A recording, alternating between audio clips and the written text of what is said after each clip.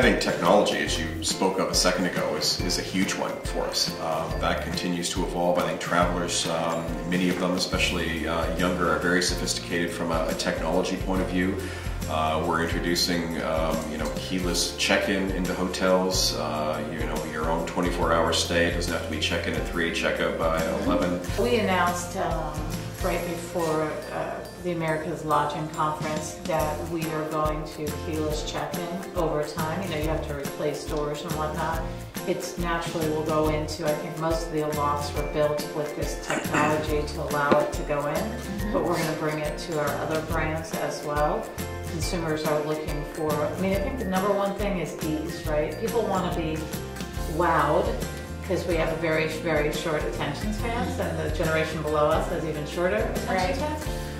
And um, they want more time to do the things they want to do and less time to do the stuff they have to do.